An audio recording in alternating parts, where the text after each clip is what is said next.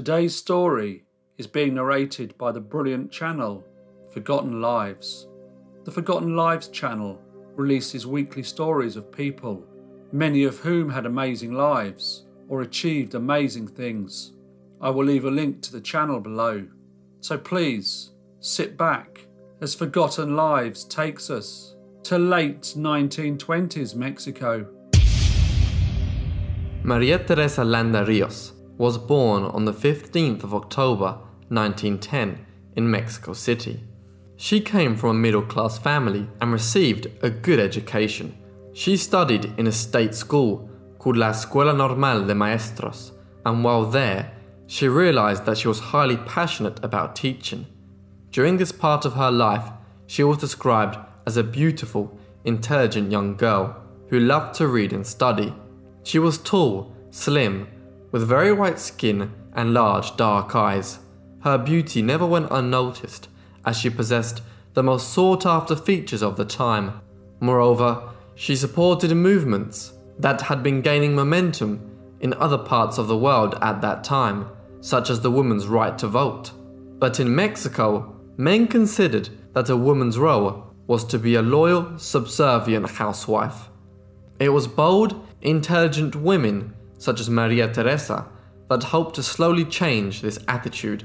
She wanted to become completely independent, both financially and spiritually. After studying hard, she finally became a fully qualified orthodontist, graduating from La Universidad Nacional. Despite this, her parents, Rafael and Deborah, tried to convince her to become a nun, devoting her life to God. However, Maria Teresa refused, as it was something she didn't even have the slightest interest in. At this stage of her life, she focused solely on herself. She had never had any type of intimate relationship, and even tried to avoid them, as in her opinion, they were quite ridiculous. On the 8th of March 1928, Teresa's grandmother Asuncion Tamayo, passed away. The funeral was attended by many friends and family members of the deceased. Among them was the general Moises Vidal Corro. As soon as the 34 year old revolutionary laid eyes on Maria Teresa, he was instantly blown away by her beauty. There was an instant attraction between them, and despite her opinion on intimate relationships, Maria Teresa and the general soon became a couple. At the time, she was in her late teens, and she would often be seen out in the city with the general. They would go to the fashionable restaurants in Chapultepec and the Plaza de la Constitucion. Their relationship quickly grew, and people commented that it seemed like something out of a romance novel. Maria Teresa's parents were strongly against the match, not only due to the considerable age gap, but also due to the general being from a lower social class.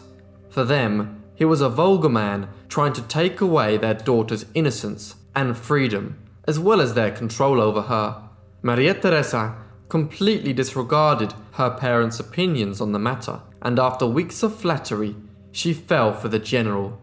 However, Vidal Corro had a big secret that he wouldn't dare tell Maria Teresa or any friends and family. He was already married and had two young daughters.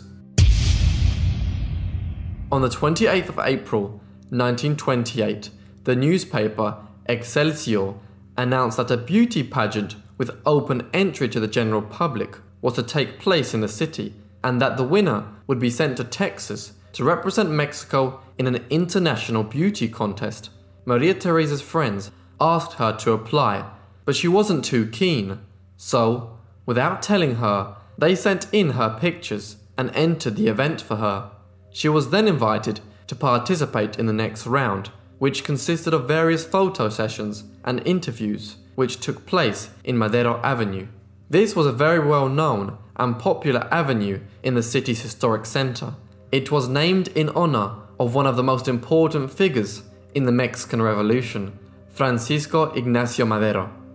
Although she was originally against it, she thought it would be interesting, and with nothing better to do, she decided to go along. In one of the shoots, she posed in a bathing costume, This caused a grand commotion among the Mexican conservative groups in the late 1920s.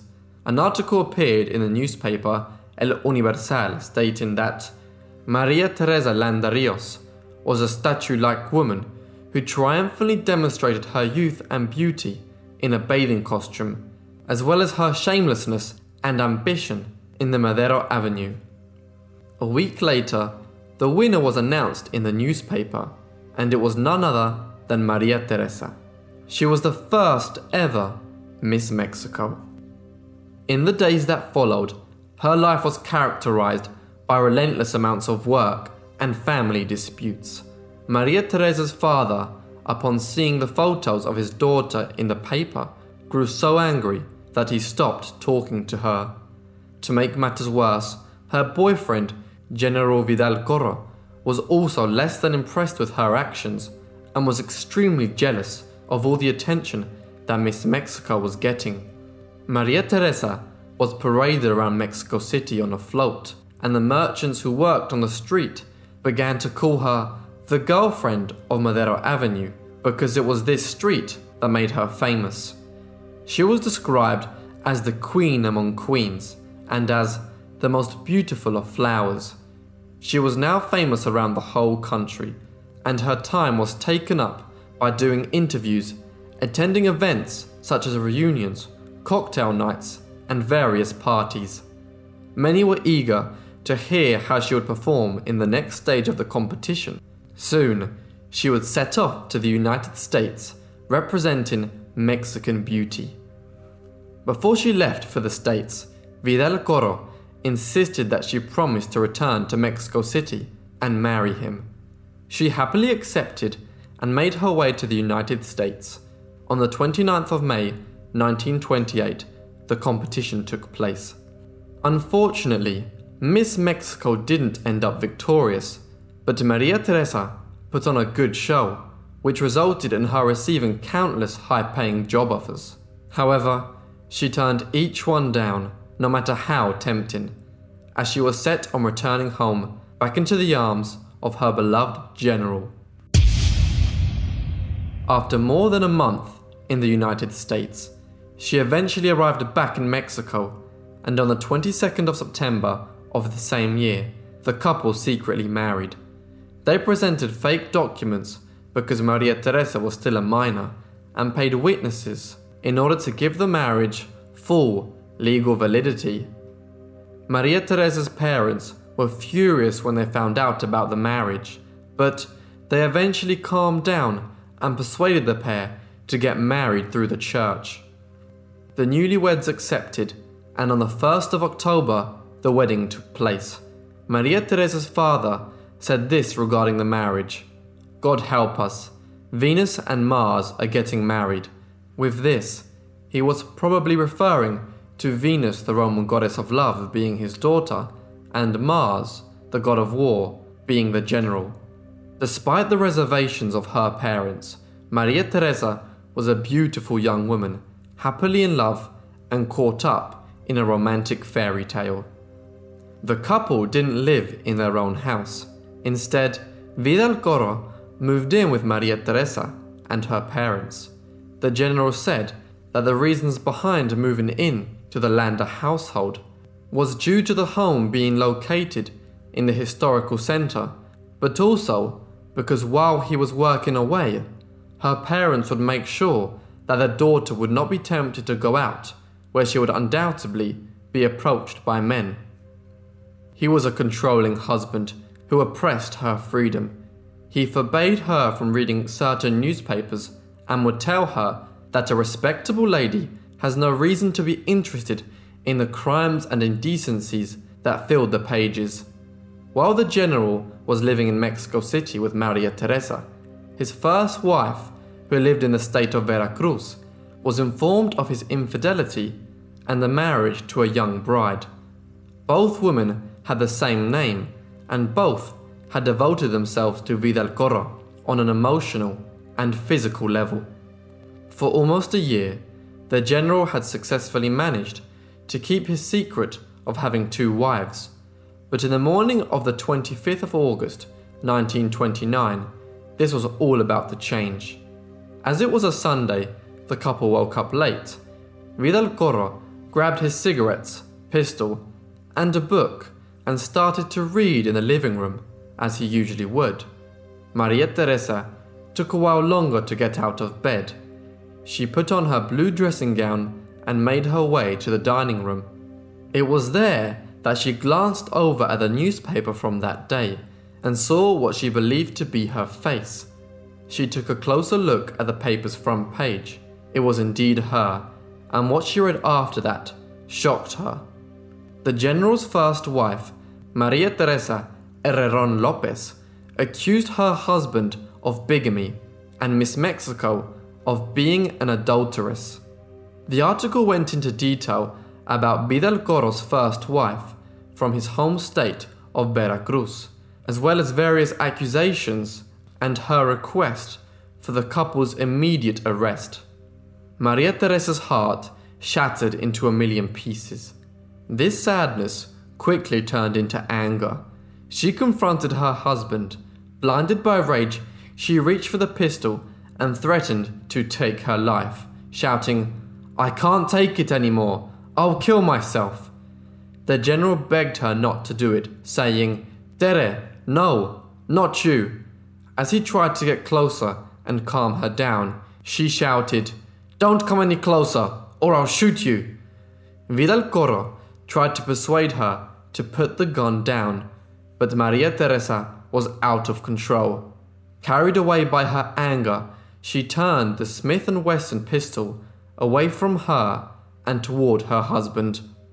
As he quietly asked her to put the gun down, a loud noise resonated from the house as six continuous gunshots were fired. The general was shot twice in the face and four times in the body. He died instantly. When she realized just what she had done, she decided to take her own life. She pointed the gun at her head and pulled the trigger. However, the pistol now had no bullets left.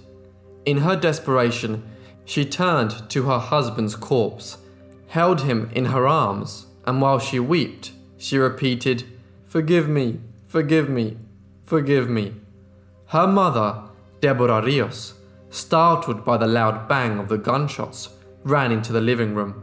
She took the pistol away from her daughter and called for help. Shortly after, the police arrived at the scene and were received by Maria Teresa, still in her blood-stained dressing gown. She refused to speak to the police about what had happened. I won't say anything, only before a judge and my lawyer, Jose Maria Lozano. Maria Teresa and her parents were taken to a police station. Despite what she had previously said while at home, when she was being questioned, she stated, I killed him, even though I adored him. From that moment, the only thing I desire is to kill myself, and I should have already accomplished it. The judge, Jesus Zavala, didn't doubt the truth behind her shocking admission and proceeded to set a date for the trial.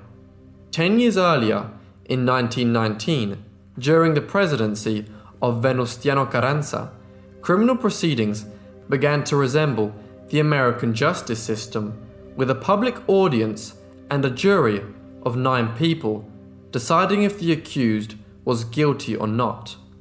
The hearing of Maria Teresa in 1929 was the last time a jury was used in Mexico.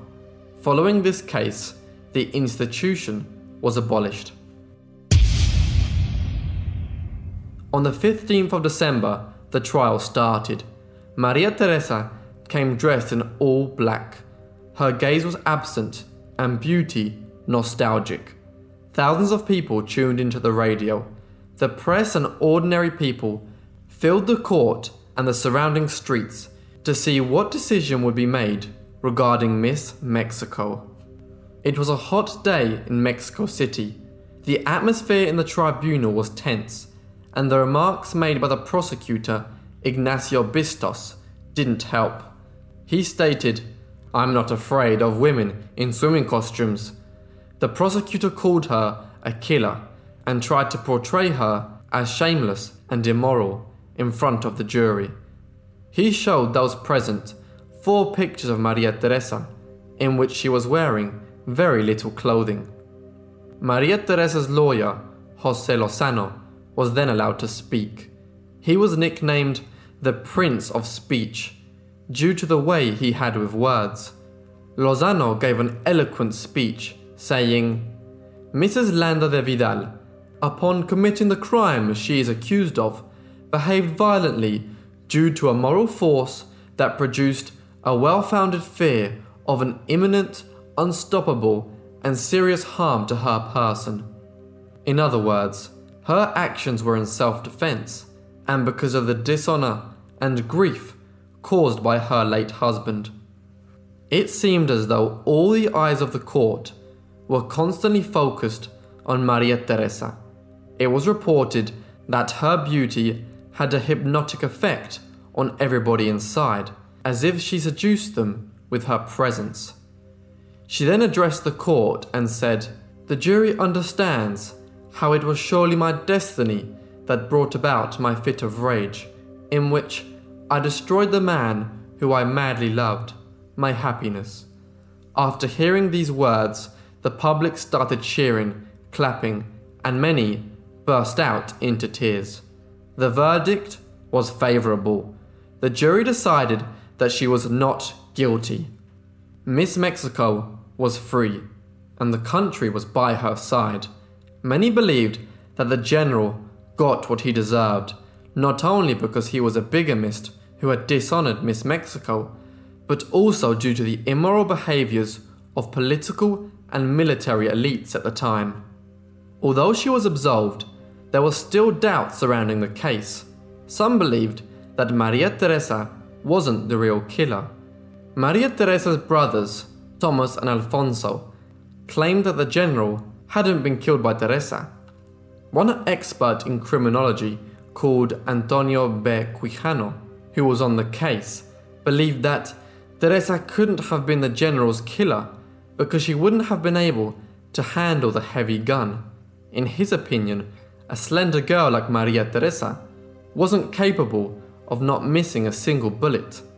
He also stated that it wasn't proven if Maria Teresa's brothers were at home at the time of the crime.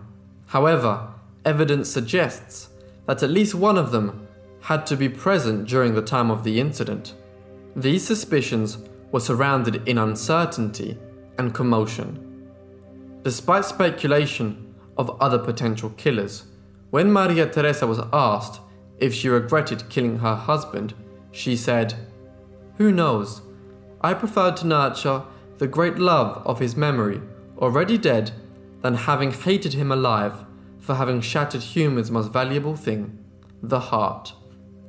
Following the famous trial for the assassination of her late husband, Maria Teresa went on to be a history and civics teacher in a Mexico City high school. She never remarried and gave classes until her death on the 4th of March 1992. Among her students were some notable names, including Octavio Paz, Jacobo Zabludovsky, and Luis de la Barreda Solorzano. Luis de la Barreda wrote about a conversation he had with his teacher. He tells that one day they were speaking about notable women in history who have lived especially difficult lives. He asked his teacher how she knew so much. She smiled at him and then turned serious and said, You know, there's some things about me that you nor your classmates could ever imagine. Do you want to hear it? Maria Teresa went from being the beautiful young academic girl to being remembered as the Miss Mexico who killed her husband. Although there are inconsistencies on what really happened that day, Maria Teresa will always be remembered as the killer. Despite there being more to the story that we do not know, Maria Teresa made sure to take that information to her grave. Hello, everyone, and thank you so much for listening. And thank you to Forgotten Lives for narrating this video. I have left a link to his amazing channel below, and I hope that you will all be back next week for another brief case